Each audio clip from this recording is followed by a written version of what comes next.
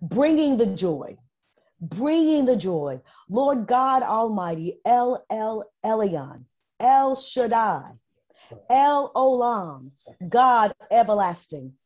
We thank you for the new mercies that have indeed greeted us this morning. We ask in the name of Yeshua HaMashiach, come, Holy Spirit. Come, heavenly dove, with all of your life giving power, we do pray. Touch us, revive us, renew us for the week ahead. In the name of Yeshua, I do pray. All God's people say, Amen. Amen.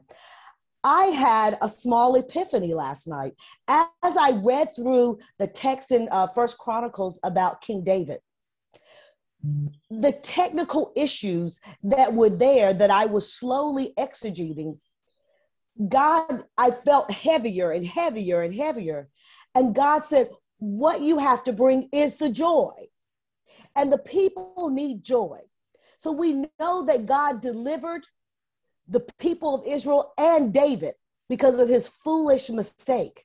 But now let's bring the joy that God may deliver us as well, bringing the joy. And this morning, if you want to go back and read David, read it. Hundreds of thousands of people died, not because someone killed them, other than God. So this morning, bringing the joy, let's bring the joy. The, the Gospel of John is unique in that it is not like the synoptic Gospels, it doesn't stick to a pattern. John brings out the spiritual elements of all of who Yeshua is. And if we just go into one chapter, you will see it. But this morning, we're going to bring the joy. First, let's go to the next slide bringing the joy, bringing the joy this morning, which is what we all need sitting in a society that weighs heavy on our shoulders. Yeshua, if you go to John 15, all of it is red. I am the true vine, and my Father, the vine dresser. Every branch in me that does not bear fruit, he takes away. And every branch that bears fruit, he prunes that it may bear more fruit. You are already clean because of the word which I have spoken to you. Abide in me, and I in you. Moving on next slide because we're going to bring joy this morning. We're going to look at what our Lord said. While David had to live in a different type of joy, we have a Messiah this morning bringing the joy. I have called you friends. Think about it. There are many of you that sit this morning and think you are friendless. Yeshua has called you his friends. You have a friend that sticks closer than a brother. If you want some joy in your life, think about that friend that doesn't leave you, doesn't side eye you, doesn't talk behind your back, but comes straight to your face you what you need to know and has your back and then on top of that lets you lay out a prayer before his father with his name on it bringing the joy. If you didn't have joy this morning, understanding that Yeshua has called you friend. Many in this world may not, or they may call you friend, and then you feel some kind of way as they go on and are with you. Yeshua, I have called you friends as we're moving on to the next slide. I have called you friends, bringing the joy. If this doesn't make you happy, I dare say, I don't know how anything else will, other than the Son of the living God calling you his friends, not his enemy, but his friends. Then he said, You did not choose me. Hey, but I chose you and appointed so that you might go and bear fruit, fruit that will last.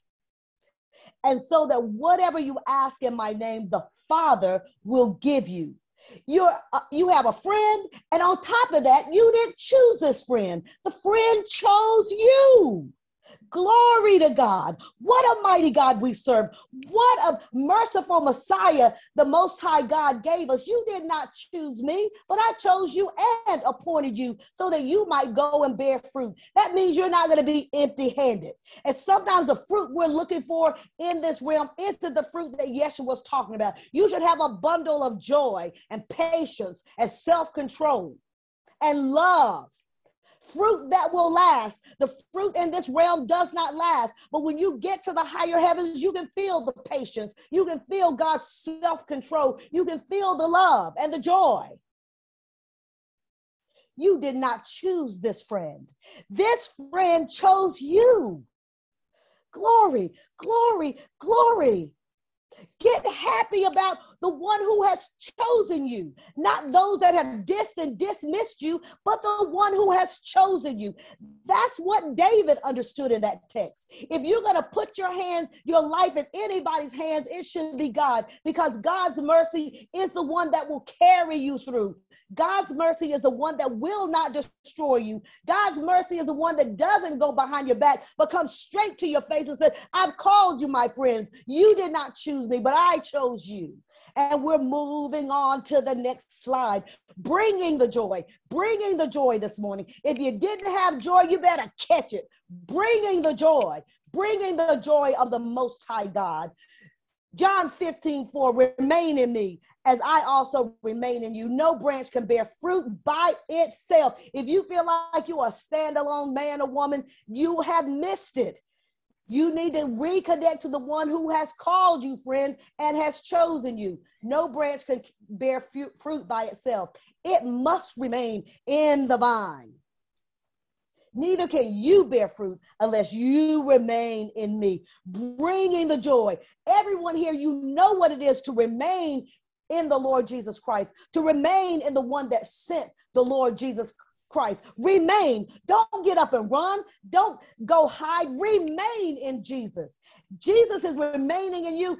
Jesus has not run from you or your bad attitude, or sometimes that you can't tell the truth, or sometimes you can't stand up and do what's right. Jesus remains in you. This is bringing the joy. If Jesus were to abandon us, what would we do? If you want to bear fruit, reconnect with what's remaining in you. Elect of God, chosen of God, those who heard the voice and responded from the eons all the way through. You were elected of God for such a time as this. Remain in Jesus, and Jesus will also remain in you, bringing the joy as we move. Next slide, bringing the joy. David had to kill everything on the threshing floor and buy land to bring a little bit of joy in Israel after his mistake. You are already clean because of the word spoken to you. Nobody calls you unclean. You are clean. This is all out of John 15. If you have a little time while you're sipping tea this afternoon, go read John 15. It is all the words of Jesus, bringing the joy. You are already clean. Nobody needs to make you clean. The Presbyterian church didn't make you clean. The Baptist church didn't make you clean. The AME, the CME, you are already clean because of the words that the Lord Jesus Christ have spoken to you.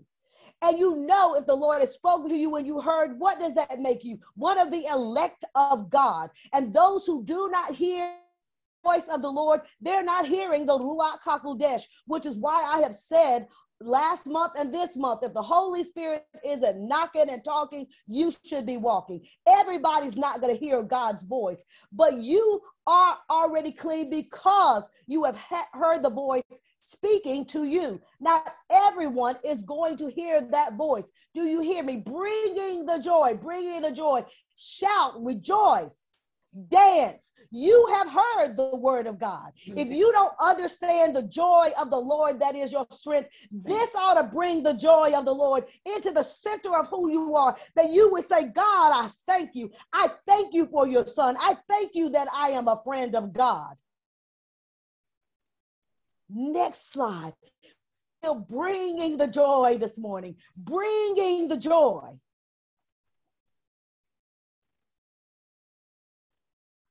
I have spoken these things to you that my joy may remain in you and that your joy may be full. What a marriage!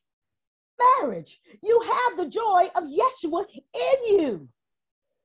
And if you're waiting for your joy to be as big as Jesus's, oh, you missed it. Hey, I've spoken these things to you that my joy remain in you and that your joy may be made full. If your joy feels just a little empty this morning, we're bringing the joy because Jesus has spoken these things to us. And I'm just called to remind you that the joy of Jesus remains in you. That causes your joy to be full. If you have forgotten why your joy is on empty, go on over to that part in you that is filled with Yeshua. Don't schism within. No, you have joy that remains in you that makes your joy full. Doesn't suggest that your joy be full. Doesn't, you know, say, well, maybe. No, it is made full. Not on E. You didn't have to go to Sam's to get the best price on this joy per gallon is yours because of the finished works of the Son of the living God. I have spoken these things to you that my joy may remain in you as we're moving on to the next slide. Bringing the joy, bringing the joy. If you're going to bring anything today, bring the joy. Bring the joy of the Lord. That was it. If you walked around this morning moping because of your condition, let it go. When God decides to do something, allow God to do it in your life. When God is telling you to be a better listener, be a better listener. When God is calling you to be for a time period, be quiet. The joy of the Lord is your strength. We have brought the joy this morning. God, I thank you for your mercy and your truth. Let this joy fill up the listening this morning them all the days of their life. In the name of Jesus, I pray. Amen. Amen.